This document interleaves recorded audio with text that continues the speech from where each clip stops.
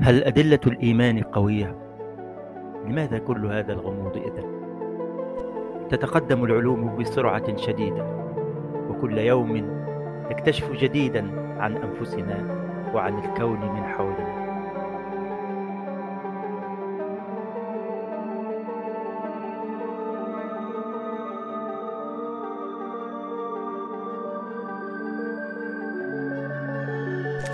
فلماذا إذا لم يصل العلم إلى الله ولا اكتشف حتى دليلا واحدا عليه بل كلما تقدمنا في العلوم كلما ابتعدنا عن الإيمان به أكثر فأكثر هل أدلة الإيمان واضحة أم أنها غامضة؟